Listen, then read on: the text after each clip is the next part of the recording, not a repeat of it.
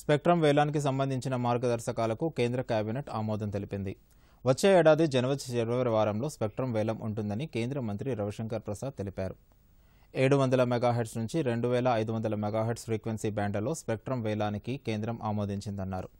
ఇరవై ఏళ్ళ కాలపరిమితితో వేలం జరుగుతుందన్నారు. మొత్తం ఫ్రీక్వెన్సీ బ్యాండ్లను సుమారు మూడు లక్షల తొంభై రెండు వేల మూడు వందల ముప్పై రెండు కోట్లకు వేలం వేయనున్నట్లు తెలిపారు.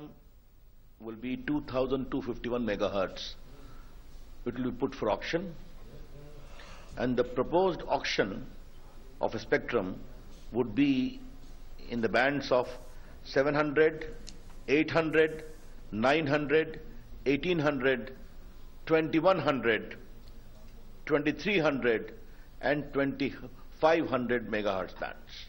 Notice inviting application shall be issued in this month itself and by March we propose to hold the auction of these spectrum.